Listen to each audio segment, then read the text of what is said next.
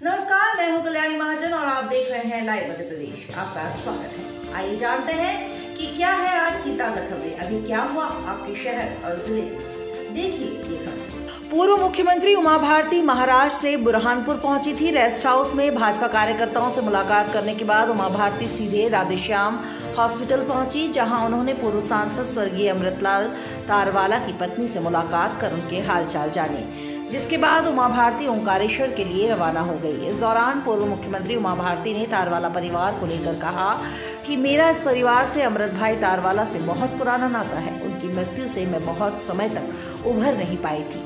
वहीं अमृत भाई तारवाला उनमें से थे जब मुझे पार्टी से निकाल दिया गया, जब अमृत भाई मेरे साथ खड़े रहे। मैंने नहीं कहा कि मेरे साथ खड़े रहिए। उन्होंने कहा था कि मैं आपके साथ खड़ा रहूँगा।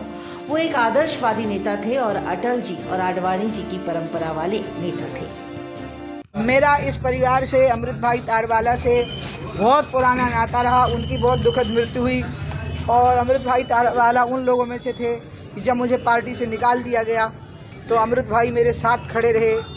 मैंने नहीं कहा कि आप मेरे साथ आइए। अचानक उनने कहा कि मैं तो आपके साथ रहूँगा और वो मेरे साथ में रहे और उनकी दुखद मृत्यु से मुझे इतना आघात लगा था कि मुझे बहुत समय लगा था उससे उभरने में। और इसलिए भाभी बीमार है मैंने सुना है मैं अमृत भाई को कभी नहीं भूल सकती। वो एक आदर्शवादी नेता थे वो अटल जी और अडवाणी जी की परंपरा के नेता थे।